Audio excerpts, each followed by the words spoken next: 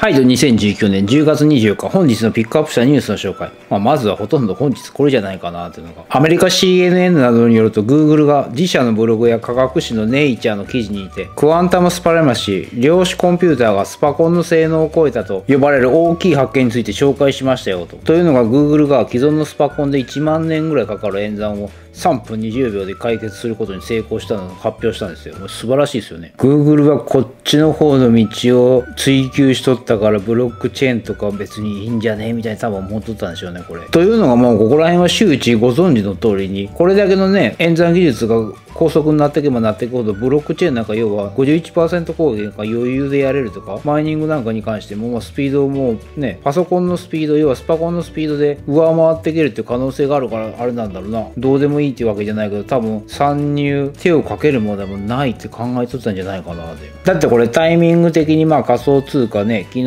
あとあれですね。それは相場の方でやるとしてスーパー暴落していったんですけどまあ一部ではここら辺の Google 関連のニュースの影響ではないか。と要はこれだけね高速な技術開発してて要は早い計算をまあ、簡単に言っちゃうと。そうするとねマイニングやブロックチェーン関連なんか突破されるんじゃないかっていう懸念をまあ促進してるんじゃないかと。まあまあ後付けですけどねそこら辺は。ただ理屈的に言えばそうですもんね。ブロックチェーンとかで要はなん手間がかかってね膨大な計算だから突破できるんだって。例えばそれを上回る計算力があるんだったら突破できるわけだから。別になんていうの。計算力以外のとこでものすごい技術とかねあの城の壁を作ってるわけじゃないですもんね。あくまで本当に手間暇かけた計算をさせる。ブロックチェーンなんかそうですね。マイニングもまあその延長線上ですけど、それをこうやって Google みたいな本当正面突破していった。まあもちろんこれで別に突破したわけじゃないですし、仮に Google が多分それだけのことやられたとしても、やらないと思うんですよ。だけどこれ面白いな、本当な。こうやってやっぱ技術の世界、まあどの世界でもそうですけど、歴史をあっさりひっくり返していくんでしょうね。例えばこれ仮説として、Google がこうやってスパコンなんかを上回るようなハイスピードの計算技術を開発してってそれによってねブロックチェーンのセキュリティ面が案外脆いものになって実はねあっさり貫通されるような状況になるとまたそこを計算力を上回る何かが出てきたりそれ以上にもっとね膨大な計算させるブロックチェーンの上乗りみたいな感じでそれが全く別の方法で計算以外で手間をかけさせるとかそれかもうね全然逆転の発想でそれは今思い浮かばんですけど何らかの方法でセキュリティ面を高めるっていう風な開発用のねいたちごっこではないけどまあ競争アイデアの出し合いみたいな風になってくるでしょうね。そこでまあ歴史的マイリストにたどり着くわけなんですけど。そうだよな。だって計算式が要は腹ければ別にセキュリティ面とかね今のブロックチェーンの優位性全くないですもんね。ただこれもサムスンやマイクロソフト世界的に見やね IBM 含めてもうもうもう本当にねパソコンとかじゃないけど普通になんか触ったら聞くような企業なんか普段何気なく使ってるとこサムスンとかでもそうですし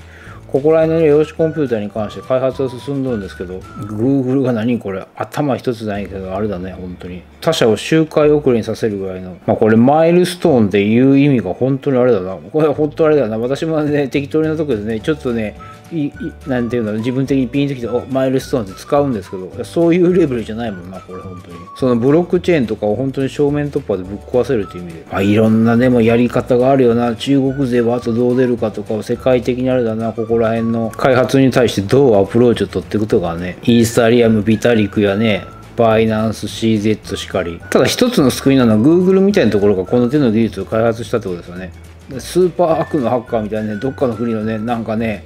ね、そういう、ね、あの名前付けられるような組織とかあったところが開発してたらもうえらいことだもんなこれな、まあ、Google があれだね。あのジキルとハイド君でね悪魔に変わるっていう可能性もゼロではないですけど、まあ、少なくともそこはしないだろうなと。まあでもそれぐらい本当あれだな。どれぐらいという感じですけど。いやマイルストーンですね。やっぱこれはね。あの生半可の言葉じゃなくてということで。はいということで次。ファイナンスが本当あれだな。なんか銀行じゃないけどな。銀行チックな取引所屋さんみたいになってきたよなというのが。仮想通貨取引所のバイナンスがユーザーが利息を得れることができる。バイナンスリーグを本格的に展開するのを発表していますよ。内容としてフレキシブルデポジットと呼ばれてユーザーは預け入れから引き出しをある程度自由に行られるんですって。ただ1日の預金総額は決められている一方平均利率に関しては BNB 建てで年1%程度。対象としてビットコインや BUSD なんかがありますよあれだ本当銀行だよね。扱っとるのがただ仮想通貨、まあ、デジタルトークン？そんな感じなんですって、まあ、もちろんこのね仮想通貨で値動きの荒いところで年 1%2% を取りに行くのが賢いのかどうのかって言われる話は抜きにしてもそれでも預ければこれだけは一応ね1%以上出せるってことだもんな。BNB で平均年間が1%個人の毎日の最大が 1000BNB ビットコインに関しては0.8%年間平均が。で毎日が 10BTC 今どうでしょう？80万ぐらい？だから800万ぐらい。大口投資家にとっては大したことないけど個人レベルとしては非常にでかいよな。で最近で出した BUSD に関してはこれが一番高金利で2.8%で毎日の最大としてが1万 BUSD 本当あれなんだ。銀行屋さんなんだこれな。銀行屋さん株式屋さん証券屋さんねいろいろごちゃ混ぜだよほんとなそれを仮想通貨でやっとるってところ。あっさりでもシフトチェンジでってねあの全速力で突っ走って面白いよな。もともとはやれたんだけど上場手数料の方。でリザヤを稼ぐっていう多分方針だったんじゃないかなと思う。それがまた真逆のデリバティブ商品金融派生の。に移ってったということで、バイナンスは Google とかに対してどうあれでしょうね、アプローチしていくんでしょうね、ここらに関してでも。Facebook もいました。本当あれだな、仮想通貨界隈技術関連含めても、まあ、セキュリティの向上とともに盛り上がってきたな、本当に。あれ、Google がああいうとこ、まあそこ話いっちゃうわな、どうしてもな。バイナンスの代わりで金融派生商品が増えてきとるんですけど。はい、ということで次。とは言ってもやっぱりハック関連、セキュリティ関連、地味にじわじわと出てきているのが、三菱 UFJ 銀行を装ったメールが少なくとも10以上が報告されていますよ。内容として、払い戻しの保留通知、口座振替、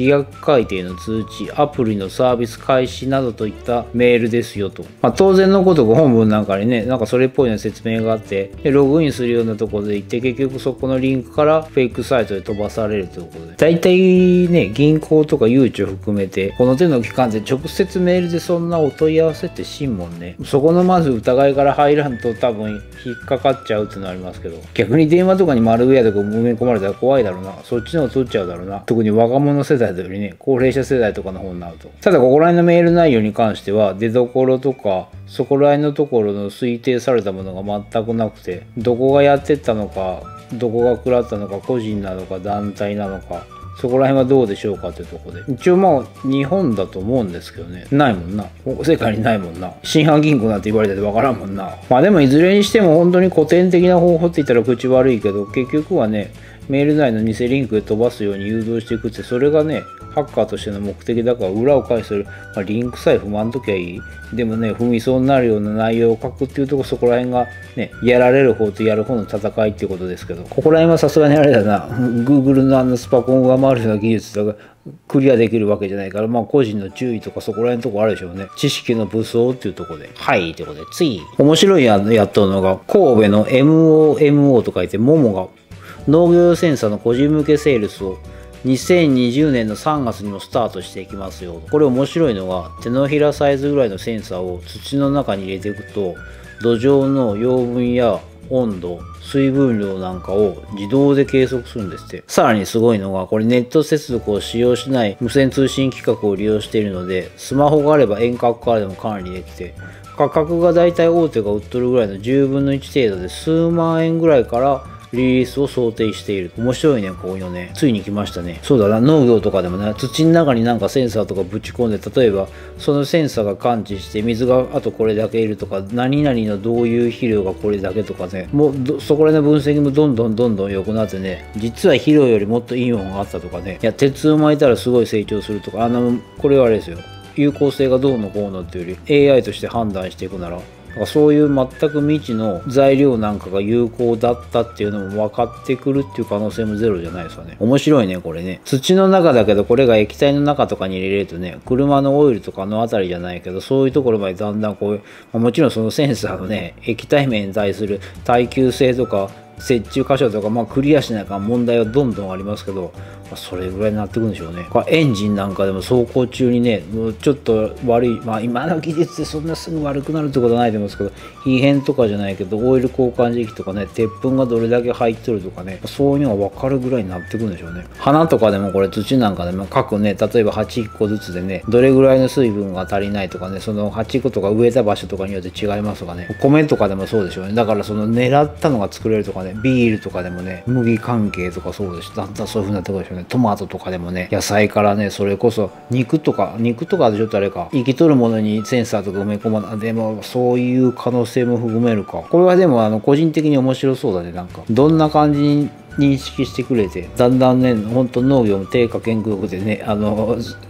ずっとそこら辺の畑じゃないから見守っとってスマホピコピコしたらある程度育ててまあほんとそんな風になってくでしょうね。おじいちゃんとかがねスマホ片手に農業やってねなんかね年商ね何億とかまあまあそんな感じのね米屋じゃないけどまあまあ本当あれでしょうね。スマホ化にだんだん農業もなっていきますねというところで。はい、じゃ次。トレンティカレッジダブリの新しい研究によると、ビタミン D の欠如によって60歳以上の骨格機能の低下に対して重要な決定要因があることを示していますよ。この論文は国際ジャーナルに最近掲載された内容で、まあ、要はビタミン D が少ないと筋肉低下なんかとマイナス面の関連がありますよということで、主な調査結果としてビタミン D が欠如した高齢者40%に対してビタミン D が十分な有効量、まあ、2倍以上あったのが十分な有効量があったのが20%と、まあ、約2倍ぐらい要はビタミン D 取れってことですよね同様に障害にある筋肉のパフォーマンスに関してはビタミン D が十分に取ったのが8%ぐらいに対して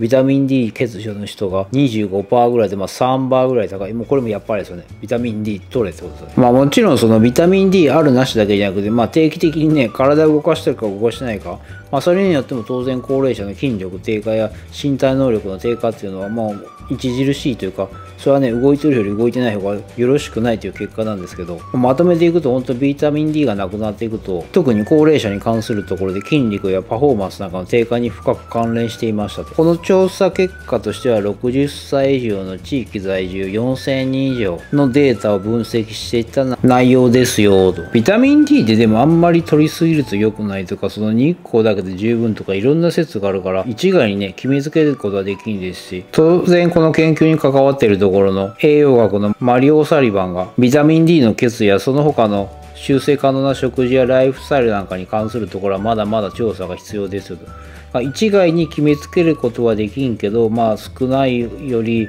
多い方がマイナス面の効果は出ていませんというところですよね。これもコーヒーのね、1日の摂取量とかとして一概にな、全部が全部決めつけれんもんな。その研究内容によって、例えば取る量とかってちょっとずれもありますし、まあ、それだけ人間のあれだね。体が複雑すぎて要はビタミン D だけの単一性のデータだけで決めれんっていうところでしょうね。ファクターが他にも必要ってことでしょうね。ただまあ取らんよりは取った方がいいってことですよね。私前から思ってるんですけど、本当あれだね。あの、食べるのめんどくさいし、時間もったいないもんなれだよね。あの、海藻類とかね、葉っぱとかになって光合成でね、あれ生きてきたいわなと思うわな。いや、ビタミン D って思い出しましたけど。太陽の光だけでね、生きてきゃね、別にあれだもんな。ここにの影響ないもんな。まあ、太陽がなくなってるという話はなしとして。まあでもここら辺の因果関係の研究は本当ね、人数多いところ、さらに高齢者とかのターゲット絞ったりとかいろいろ進めとってまあね一概にそれに対して結論が出んからいや違っとるがとかあるね言うかもしれんすけどそれでもやっぱあれだよなこうやってリサーチしててね、積み重ねによってそれでフィードバックしてて改善していけますから。10あって1か2、まあまあ当たりはいいかなという感じですけど、この手の話は私好きなんで結構見てますよ。言及するまでに至らんとかね、あの自分の H を超えて説明するのがめっちゃ難しいとかっていうのは、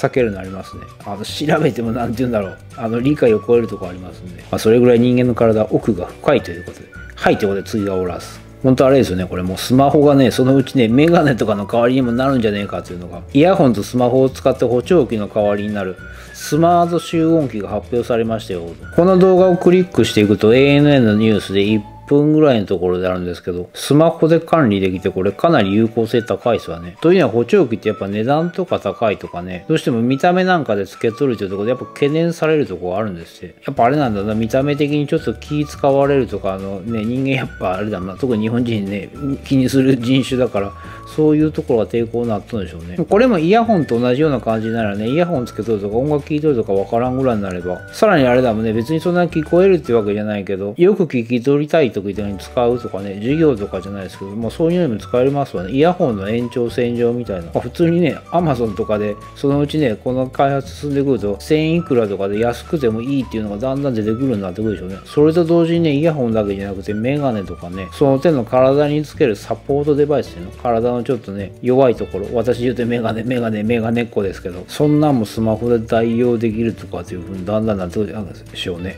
管理とか含めて、例えばね、メガネのレンズとかね、スマホで度数とか調整できたりね。まあもちろんそこまでのねレンズの技術がいりますけど、まあ、そんでもそれぐらいだよね。可能性を含めますわね、まあ、何でもスマホ管理っていうとねスマホがないとダメじゃねえかってね私の親世代なんか言うんですけど。それでもできるってことは便利だな。別にスマホでできるんだったら他のでもねできるようにってデバイスの応用ができますし。デバイス単体だけ別にスマホ管理じゃなくても開発は十分できますから。地味なんですけどかなり期待ですよねこれ。ただ会社名とかそこら辺とかね記事とかに別に書いてもよかったんじゃないかなって値段とか含めているところで。はいということでそんな感じで来ましたけども。もう本日はぶっちぎりで Google でしょうね。別にブロックチェーンとかねマイニングを正面突破する貫通するためにわけじゃないけどそれでもその可能性を含める開発だもんな。んだけスパコンを超えるな高速なスピードで。高速っていうレベルじゃないもんな。だからあれも結局ね人間が開発してたものをまあね AI とか機械とか言葉は似てますけどそこら辺がね人間から派生してって AI とか言ってそこら辺から来て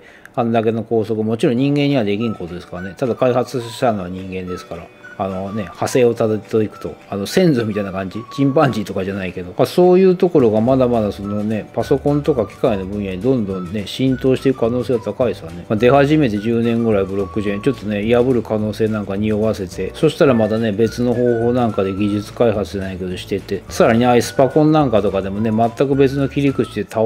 すわけじゃないけど、超えていく、あっさりもっと効率のいいものになっていくっていう可能性がどんどん含めますもんね。だから盲目的にね、ブロックチェーンとかセキュリティ関連、絶対すげえぜ守れるぜって。マイニングだとかね何でもかんでもブロックチェーン導入だって私みたいにねそういうわけじゃなくても別の切り口だからそれを Google は見事に証明しましたね。あれが取ったからだからそこら辺手出さんかったんでしょうね。あの独自トークンとかブロックチェーン関連とか別に手を出す意味がなかったっていうの。元のたどり着くとこはある程度近いんだけど途中までの道が全く違うっていうの。なんか妙に納得したよなと。いやお前に納得されんでもわしら Google は開発しとんじゃって言われそうですけど。いやでもやっぱ最後にねあのめっちゃね説得力ないけどマイルストーンだね。いや本当に本当に。何でもかんでもマイルストーンで片付けるなってことですけど。いやそれぐらい本当私的にはすごいということで。まあそんな感じで逃げていこうということで。はいということでそんな感じで以上2019年10月24日本日のピックアップしたニュースの紹介でした。そんな感じで終わり。